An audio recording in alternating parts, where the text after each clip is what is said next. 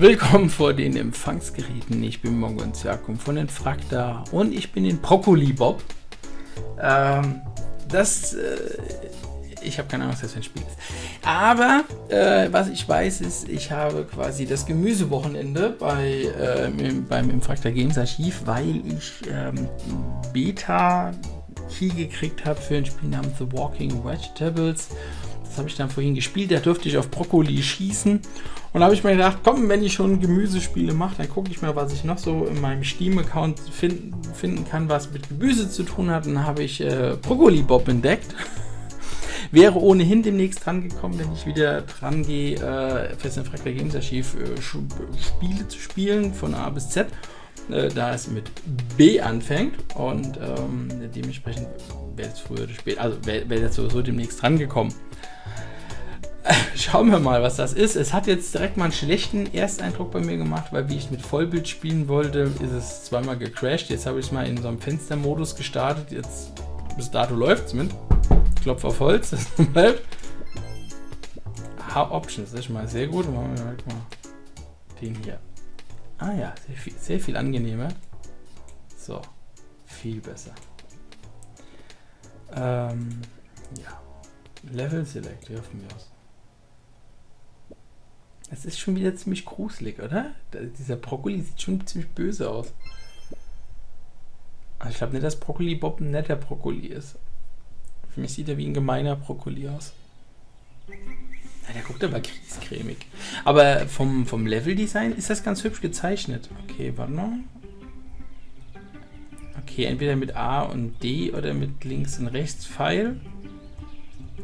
Auf andere reagiert er nicht. Aha, auf Leertaste hüpft er. Gut. Hm. Scheint ein Plattform-Jump'n'Run zu sein.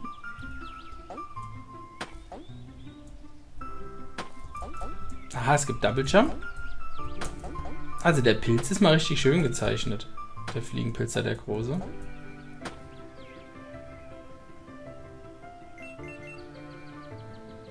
Es hat was vom klassischen Mario. Äh, Grab the Coins.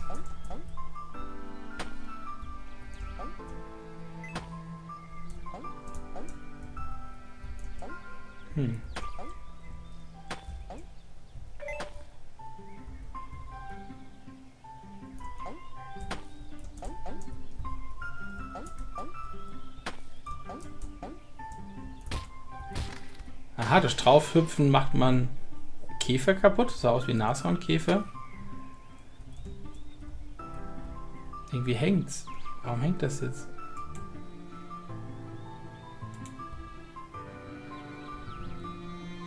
Jetzt hängt es nicht mehr. Ah, so, ah, das war mein Virenscanner, der ja gerade eben der Meinung war, ihr müsst jetzt mir mitteilen. Jawohl. Das ist ein Spiel. Kein, keine Malware, kein irgendwas, Virus, kein Trojaner. Es ist ein Spiel. Ja, äh, danke, lieber Virenscanner.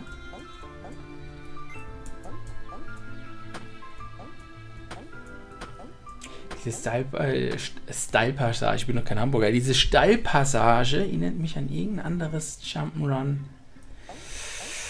Äh, mit diesem Sandkastenkind mit den Zombies, oder? Wenn ich jetzt wüsste, was ich da eigentlich gerade eingesammelt habe. Ich würde sagen, das sind Leben zusätzlicher. Ich weiß es nicht.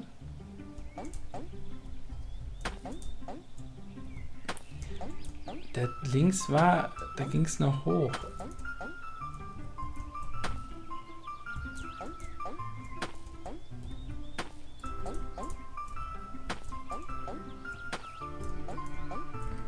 Also musikalisch ist das auch ganz hübsch gemacht.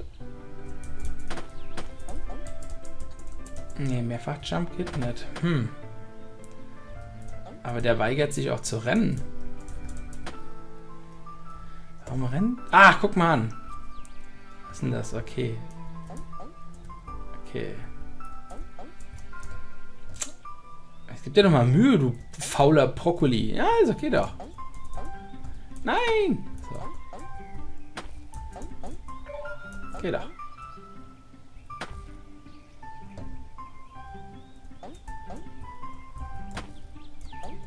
Großer, böser Brokkoli.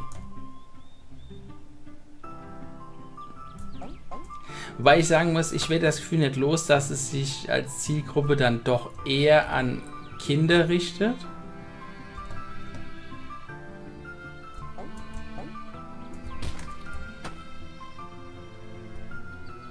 Jetzt ist er weggebeamt worden. Pokoli Beam. Der Pokoli Ab in die Suppenküche. Ach Gott, hier hüpft man. Auf was hüpfe ich denn da rum? Sieht das wie eine Art Pilz, oder?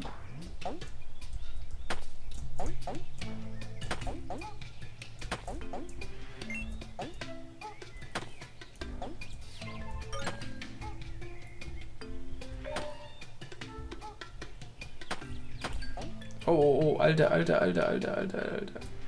Runtergeklitscht. Okay, da geht's nicht mehr weiter runter. Gott. Ja, muss man auch immer erstmal rausfinden. Ist aber auch ein Klassiker, oder? Dass man in Jump'n'Runs äh, auf die Gegner drauf springt.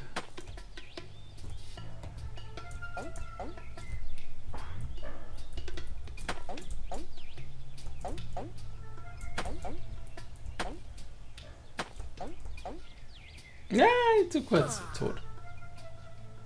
Matschiger Brokkoli. Nur stelle ich mir das jetzt irgendwie schwierig vor. Auf so einer kleinen Fläche genug Schwung zu holen.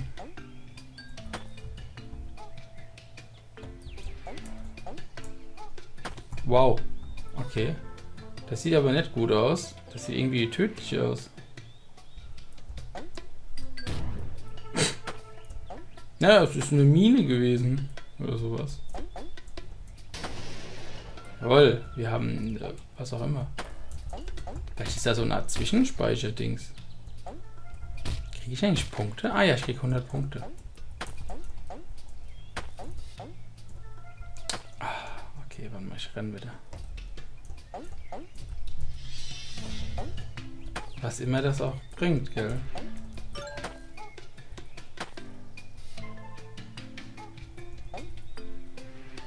Uh, ein Goblin oder irgendwie sowas. Ich weiß es nicht. Was war mal anders?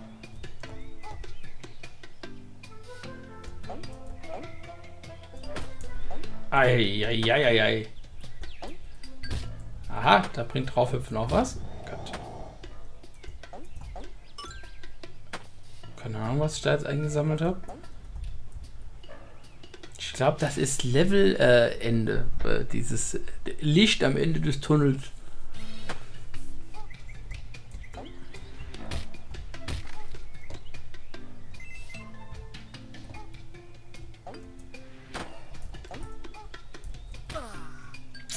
Das war auch gerade eine Glanzleistung.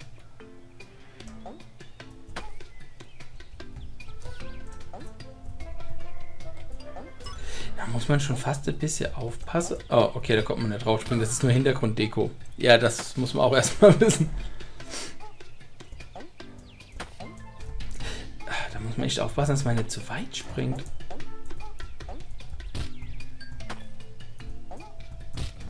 Ob das das Missionsziel ist? Ich muss diese... Ah, daneben gesprungen. Ähm, diese, diese...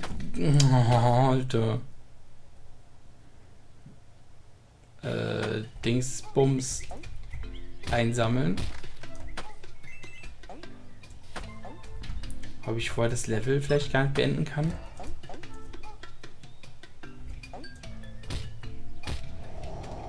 Warum sehen die Bösen eigentlich aus wie eine Art äh, Goblin-Elf-Elf-Kreuzung äh, aus World of Warcraft plus mit gepiersten Ohren? Also Ohrenpiercing steht für Schurken. Ja, wieder was gelernt. Das merke ich, wenn ich nächstes Mal am Bahnhof bin. Ich sehe da einen mit gepiersten Ohren. Dann springe ich ihm direkt auf den Kopf. Der freut sich bestimmt.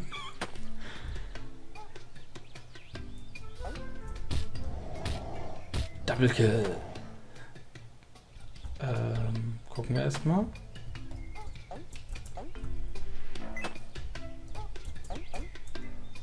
Ey, das war die Mine. Ich habe mich erst noch voll gefreut. Ey, irgendwas Lilanes. Ah, nee, das ist gar kein Panda-Gesicht, fröhliches. Das ist ein Totenschädel. Ah, grüne Münzen bringen viele kleine goldene Münzen. Und wenn der Brokkoli vom Blitz getroffen wird, dann ist alles gut.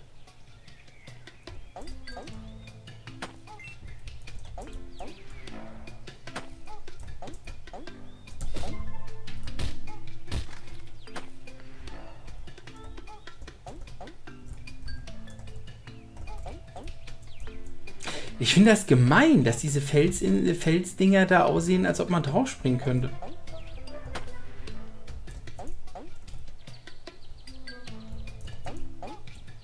Das hat was von diesen schwebenden Bergen, Felsen aus Avatar, oder?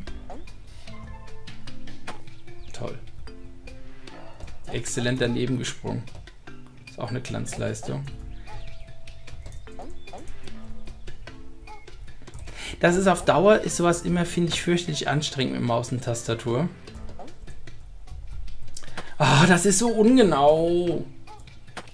Ähm, früher oder später kriegt man immer so ein bisschen leicht krampfig in die, in die linke Hand, wenn man hier mit WASD und Leertaste spielt. Wenn man sich dann denkt so, oh, vielleicht kaufe ich mir doch bei Gelegenheit mal so einen Controller. Auf der anderen Seite, ich bin ja ganz dankbar, dass es überhaupt Maustastatur, also gut, Maus jetzt nicht, aber Tastatur. Ja gut, die Tastatur, die Maus wird schon angezeigt, aber ich kann nichts mitmachen. Nee. Ach, weißt du was? Drauf geschissen. Ich brauche bitte jetzt nochmal, äh, nicht nochmal, das ist so ungenau. Das ist frustrierend. Was mit dem Dicken da? Ah, Einsprung, gut.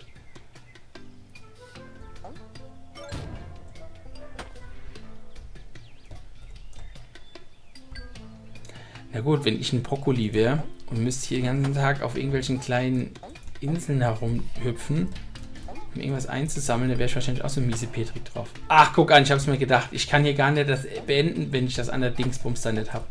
Ach, wie ätzend. Na gut, dann gucken wir, dass wir es doch noch irgendwie einsacken. Ey, das gibt's doch nicht! Ich kann jetzt nicht schon zum dritten Mal daneben gefallen sein.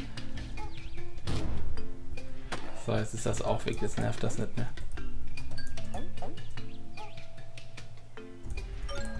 Jawohl. Das war schon von der, das war schon von der Wahrscheinlichkeitsberechnung. Die Stochastik hätten wir äh, lehrt doch schon, dass, spätestens jetzt hätte ich ja schon aus, aus Zufall, aus Versehen schon äh, drauf müssen.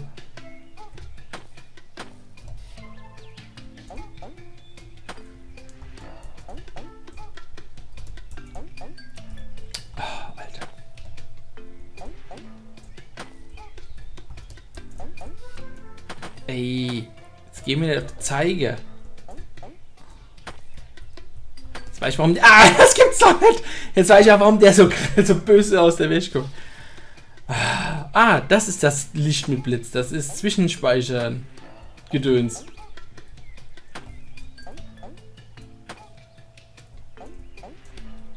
Also man übersteuert hier wahnsinnig schnell und hüpft dann aus der Seen irgendwo runter.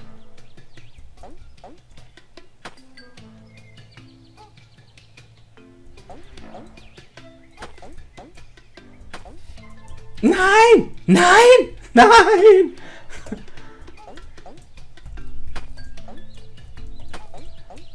Ist doch nicht wahr.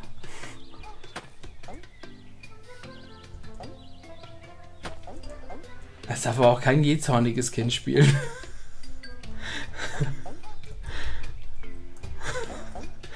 Ruckzuck fliegen die Bauklötze durchs Kinderzimmer.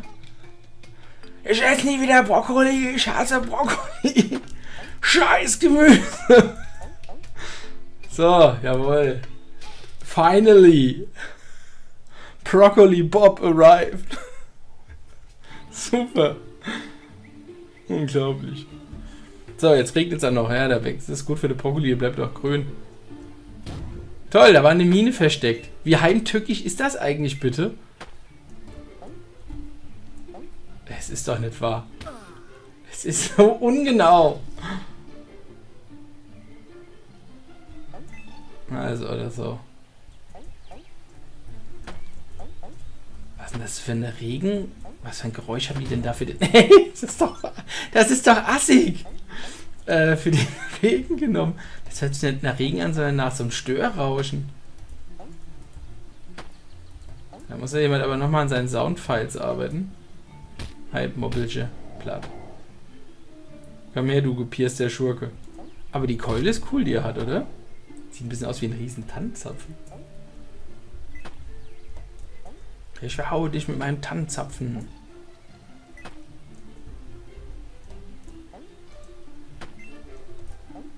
Nein! Ich hasse das. Jump und Rums mit so inselchen und dann einer etwas schwammigen Steuerung. Gott, an dieser Stelle würde ich sagen, haben wir genug gesehen von dem Spiel. Ja, ja, ich glaube, ich habe aber diesmal wenigstens die Mine nicht erwischt. Das ist doch nicht wahr jetzt. Ah, ja. Toll, diesmal habe ich nicht mal die Mine. Mhm.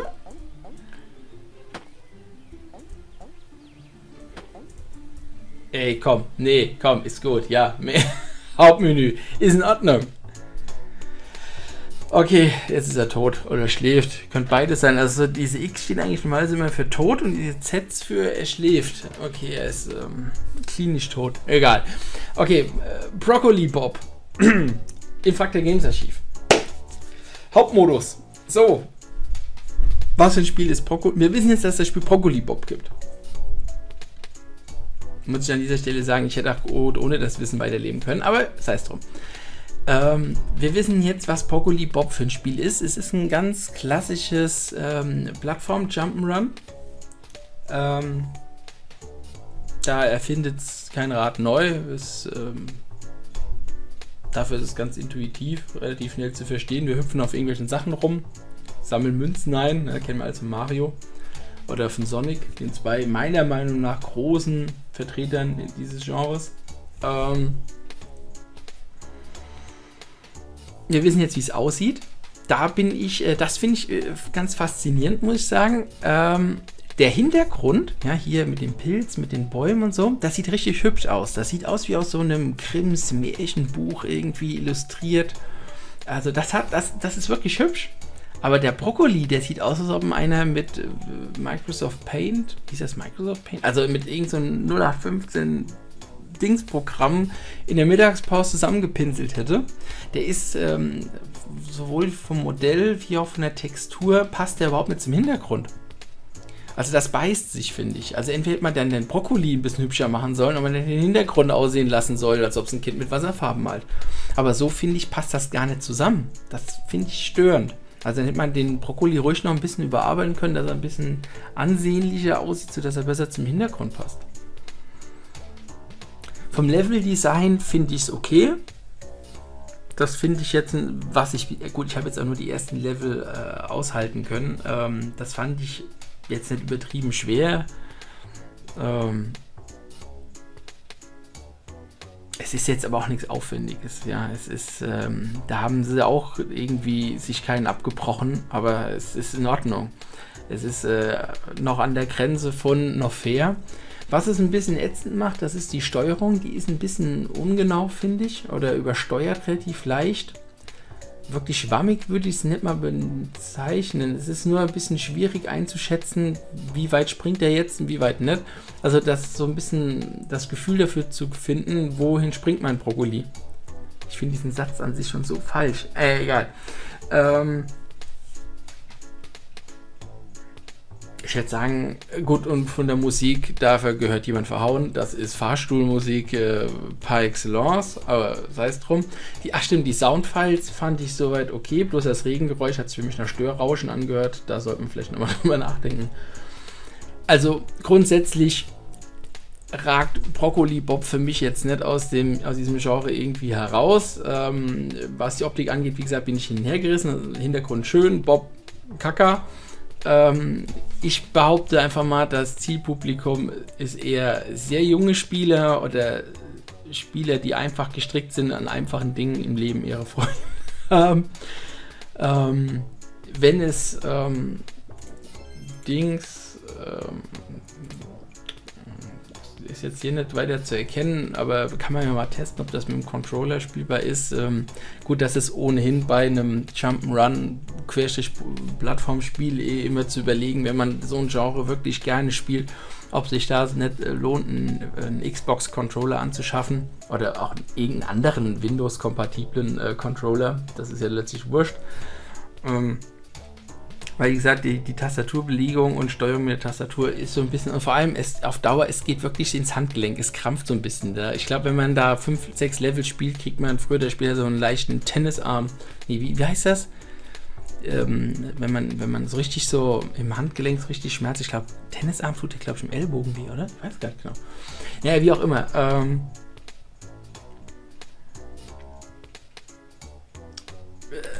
sagen wir es mal so, wenn, wenn das jetzt eine Beilage gewesen wäre, der Steam-Code wäre eine Beilage gewesen, irgendwie in so einer Kelloggs-Packung, also Crunchips, nee, wie heißen? Crunchips sind, sind, sind Chips, Kartoffelchips.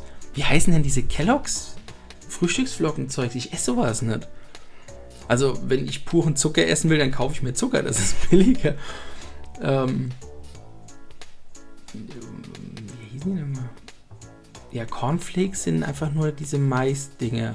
Die kaufe ich tatsächlich, diese ungesüßten, ab und zu, ähm, ähm, für, für die hier Dingsbums zu machen. So äh, Schokokrossis, wie die heißen, selbst zu machen.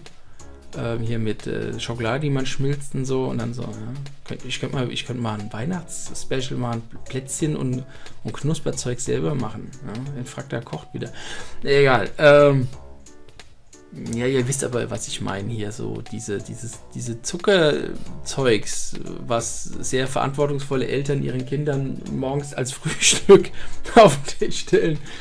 Ähm, ähm, ähm, ja, ihr wisst, was ich meine. Auf jeden Fall, es würde mich da nicht weiter wundern. Es ist, es ist jetzt, es ist okay. Es ist in Ordnung. Es ist, ähm, wie gesagt, äh, dass die Gestaltung, die Musik, der Name, die Verwendung von dem Brokkoli Wobei andererseits, ich kenne kaum ein Kind, das Gemüse gerne isst und vor allem Brokkoli.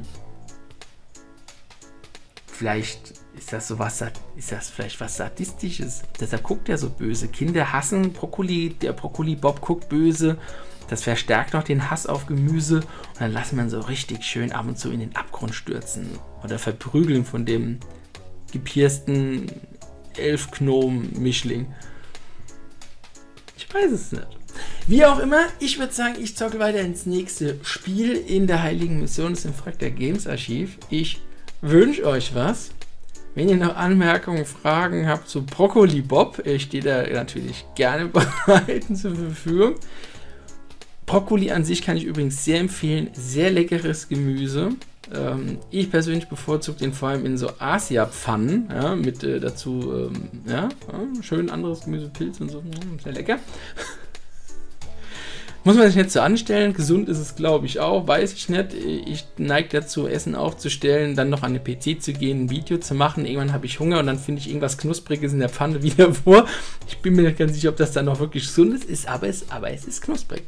So, ich wünsche euch was. Macht's gut. Bis bald. Tschüss.